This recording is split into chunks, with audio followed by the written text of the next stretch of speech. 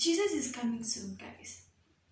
We are still to go through many things. Hi guys, welcome to my YouTube channel. My name is Bernelee and today um, I just wanted to share something that which is fear.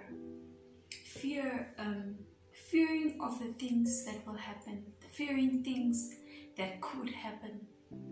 Basically, a fear of things that are to come or these you have a fear a certain fear like a not really a phobia not really is a not really a fear of i'm scared of a snake or i'm scared of a whatever but for things to happen of things that will happen. I remember um, in 2013 i came home friday night from bible study and there were people at our house. Uh, many people many people at our house that are normally not at our house. And i was wondering what's happening what's happening and it, there were people seated all over like at our house and i just didn't understand what was happening and i'm trying to figure out what was happening but i just couldn't get it. And so the ladies you know started talking and they were going all in circles and stuff like that. And eventually i was told what was happening and what had happened was that my father was in a car accident and and he passed away in the car accident. Now i feared losing my father. Like i loved him so much and one thing i always prayed for was god please i don't want to lose my father especially before he gave his life to christ but even i just didn't want him to die. Um, I, I, I, that was my fear. I just didn't want to him to die ever. Like, is it even normal? But the day that happened, when they told me, the first thing that I did was I took my Bible.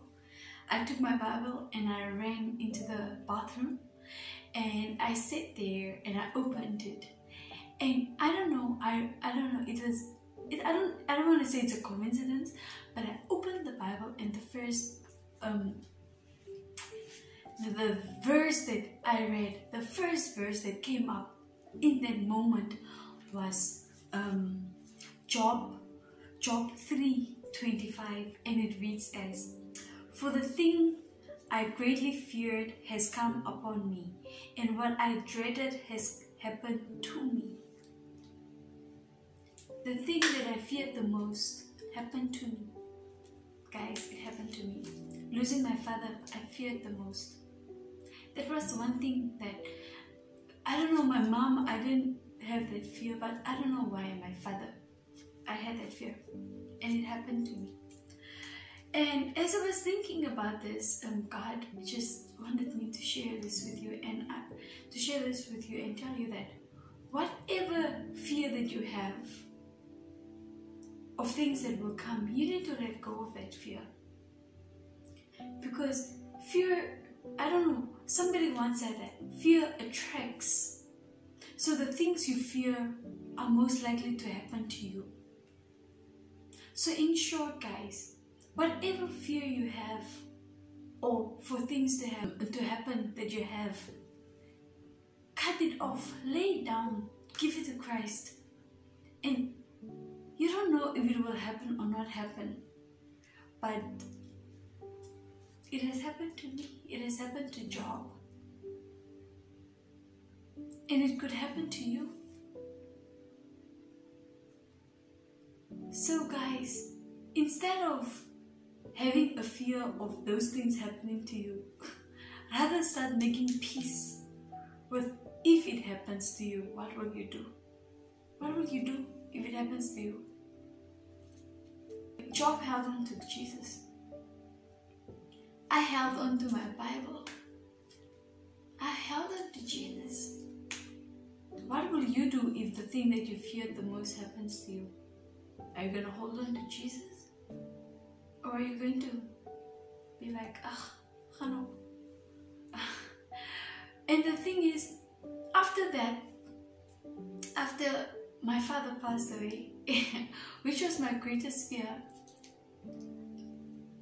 it desensitized me of every other death. It people who died after my father um, or passed away. Sorry, after my father passed away. I was like, "Ah, I already lost my father. It's fine. what what more could happen? So that was the effect that it had on me. That I was de de what desensitized to other people's passing. That it didn't. No, I don't want to say it didn't matter to me. It did matter, but it didn't affect me because my greatest fear already happened. What more could go wrong? But who more could die? Oh, like it. When when I heard who and who passed away, I was just be like, oh, okay. Not that I didn't care, but it just didn't touch me. I was desensitized. So, um, in short, um, yeah, what I wanted to say was that whatever fear that you have, you, you need to cut it off because, again, God didn't give us a spirit of fear.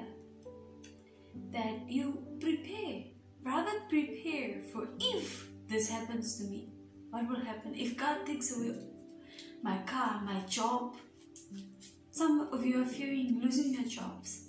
If God, if, if, if it's gone, what will, you, what will you do? Are you losing your faith with your job?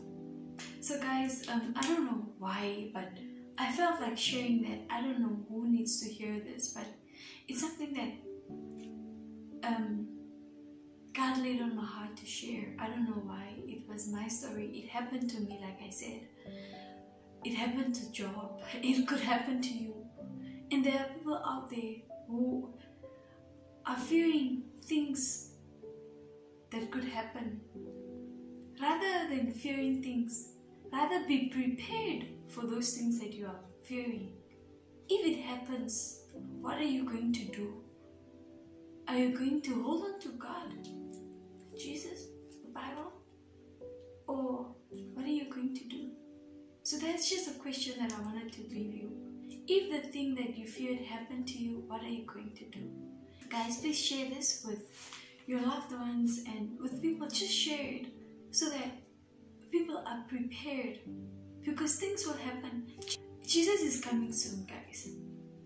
We are still to go through many things, things that we fear might still face us in the future. But what will you do? What will you do? Yes, guys, so that is my question. Please share it. Um, I don't know who needs to hear this, like I said. Um, just God just placed it on my heart to ask, what will you do if something that you feared or has been asking have been asking God not to happen happens to you, what will you do? Yeah guys, um thank you for watching. Um bye.